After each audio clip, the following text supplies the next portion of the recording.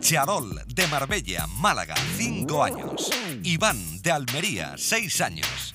Cristina de San Fernando, Cádiz, 5 años. Pedro Pablo de Sevilla, 8 años. Ana Belén de Linares, Jaén, 9 años. José Antonio de Sevilla, 9 años.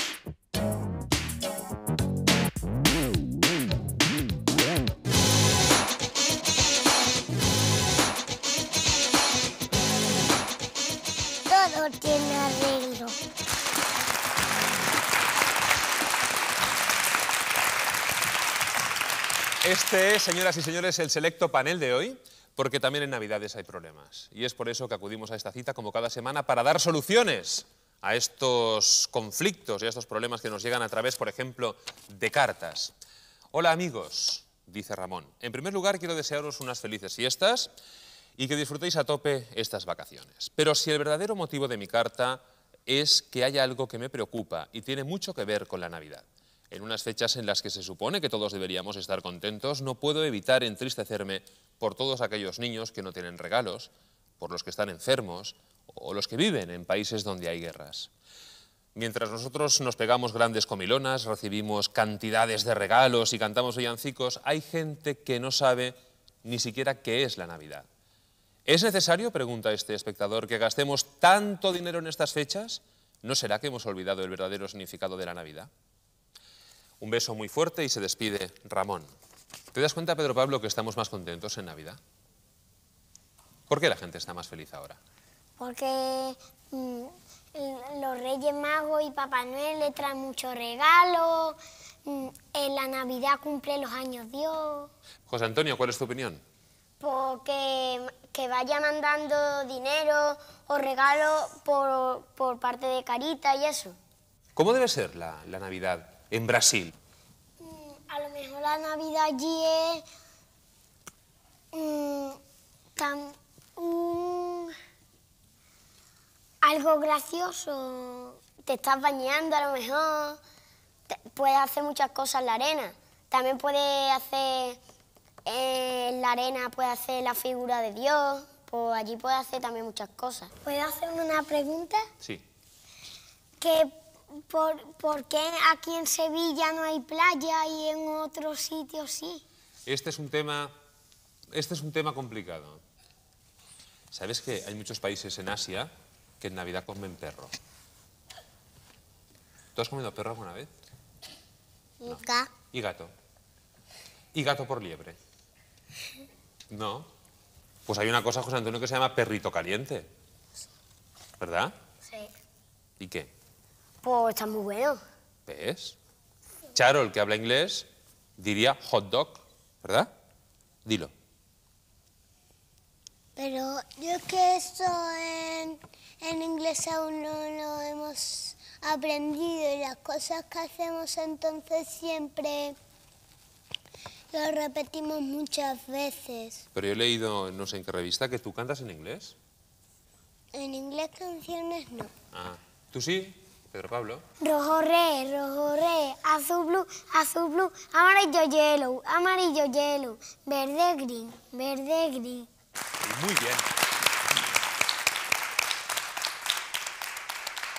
Este programa, y porque estamos en Navidad, además da lecciones de inglés gratis, ya lo ven. Vamos a ver, José Antonio, esas personas que, como tú, piensan que hay que ayudar a los que no tienen regalos en Navidad, que hay que, de alguna manera, colaborar con que la Navidad sea un hecho feliz para todo el mundo, ¿se te ocurre alguna idea para que puedan, de alguna forma, ayudar? Pues los misioneros que estén repartidos por países, ¿no? Pues que lleven regalos, les ayuden más de lo que ayuden por Navidad, o sea, que hagan un esfuerzo en Navidad y que hagan más cosas de lo que hacen. A la gente que no tiene juguetes en Navidad, pues, pues darle algunos, ¿no? ¿De los tuyos? No, Bueno, vamos a continuar. Hay mucha gente que ahora por Navidad trabaja más. Por ejemplo, los peluqueros y las peluqueras. ¿Se dan cuenta de la cantidad de gente que va a la peluquería en fiestas de Navidad? Atendamos esta consulta que nos llega desde la calle. Alguien que está intrigado por algo que tiene que ver con los pelos y la peluquería. Vamos a ver. Mi mujer va una vez a la semana a la peluquería y yo voy una vez cada dos meses. ¿Creéis que es necesario ir tantas veces a la peluquería? Vamos a ver, Iván, ¿tú crees que es necesario que las mujeres vayan una vez a la semana a la peluquería? Sí. No es necesario que vaya tantas veces. ¿Tú no vas una vez a la semana? ¿Cada cuánto vas? Yo es que no voy a la película a la peluquería. todas las veces no pueden ir a la peluquería, todos los días, todos los días, porque así no le puede crecer el pelo, pero una vez a la semana, todos los domingos, puede ir porque a las mujeres le crece mucho el pelo. Por ejemplo, si tiene alguna boda, pues a lo mejor va a arreglárselo Un así. Cristina, ¿ese, ¿ese castaño que tú llevas en el cabello es tuyo o es teñido? Es que no está teñido. No. ¿Y por qué hay gente que se teñe el cabello? Porque tiene ganas de teñírselo. Mi mamá siempre que eso va a Prica y compre y compra todo, todo para teñirse el pelo. Ah, sí, todo lo que venden para teñírselo. Prica también vende eso para, para ponerse de otro color. Mi abuela Reyes, eh, el otro día, bueno, ya hace tiempo que creo que, que estaba con la otra peluquera op- opinando de revistas y de eso. Si llegarais a ocupar portadas en revistas del corazón, imaginadlo, ¿no? Que hagáis algo, alguna actividad que os haga famosos y salierais en las revistas, os exponéis a eso, a que la gente os critique. ¿Qué? Me sentaría muy mal. Te sentaría mal, ¿verdad? Porque encima acá hago un esfuerzo por la gente y después me critican, pues... Claro. Pedro Pablo, tú, por ejemplo, vas a ser cantante, ¿no? Yo sí. Yo, yo voy a ser, de mayo voy a salir en la banda de la sede de tambor, que me gusta tocar tambor.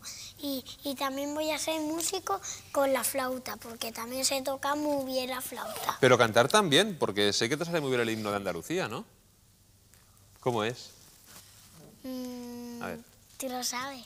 No. La bandera blanca.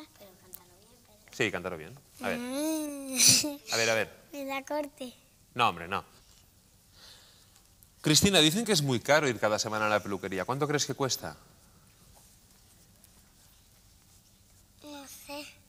Pedro Pablo. 157 pesetas o así. Ana. Pues cortar pelo 700. Cortarlo 700. ¿Y eso es caro? Sí. Sí. José Antonio. Para la mujer, o sea, la peluquería de señora creo que costará 2.000 y pico, 2.000 y pico. ¿Y la de hombres? El hombre, pues, depende el pelo. Si lo tienes muy largo, pues a lo mejor te cuesta 700. Ajá. Si lo tienes muy corto y te lo quieres teñir, pues a lo mejor te cuesta 200. Bueno, yo creo que casi todo lo que tiene que ver con peluquerías, peinados y tintes se ha expresado ya en este programa. Hay que seguir trabajando porque ahora va a venir al programa alguien que ha pedido por favor que atendamos su caso en persona. Entra por esa puerta. Un aplauso muy fuerte.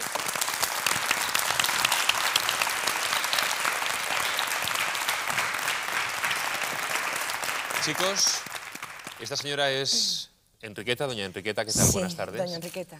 Eh, que ha escrito, sí, ha escrito una carta, ha llamado al programa, ha mandado telegramas, palomas mensajeras, todo para poder venir al plató. Sí. Aquí está porque está verdaderamente angustiada, ¿verdad? Eh, sí, tengo un problema eh, eh, de amor.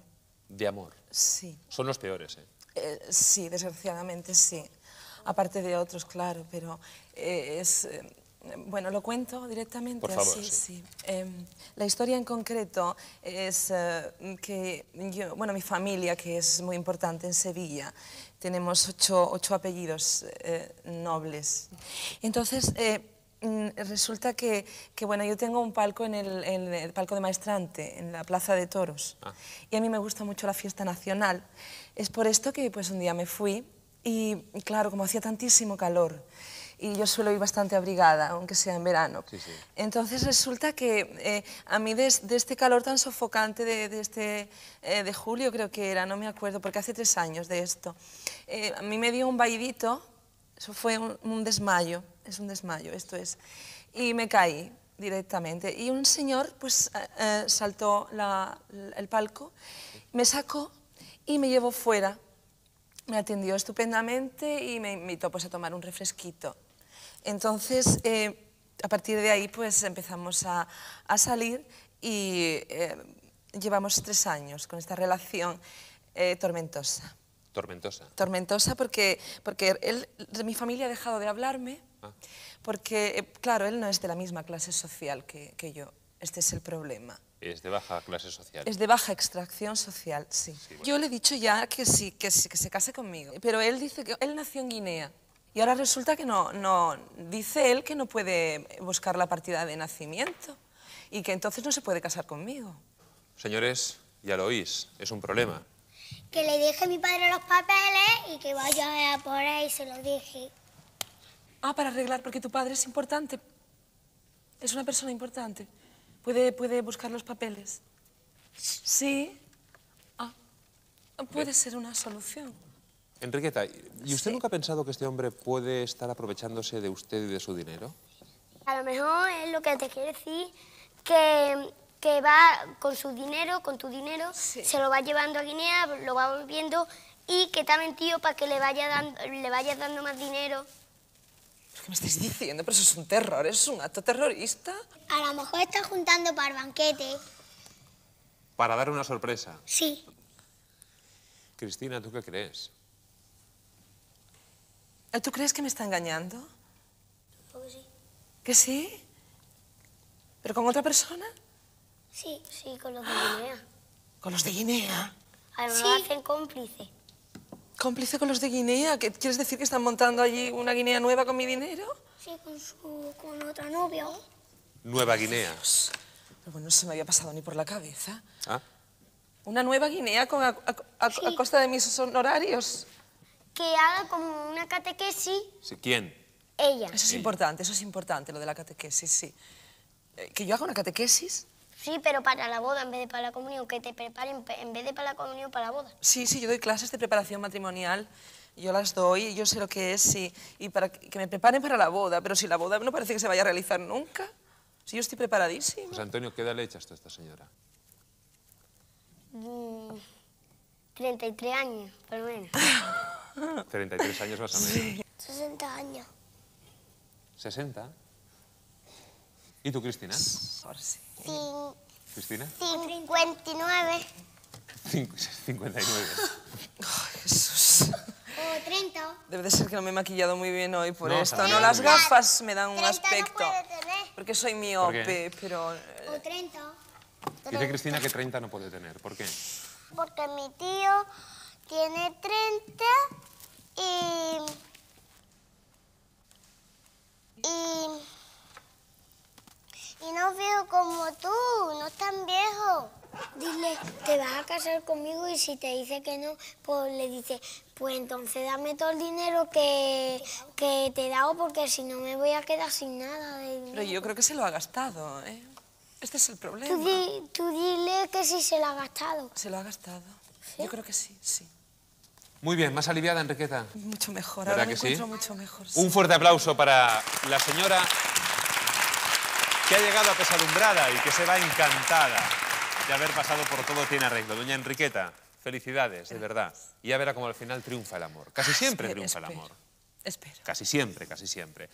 Bueno, nosotros vamos a seguir trabajando, pero vamos a tomarnos un respiro. No muy largo. Volvemos en un instante. Gracias.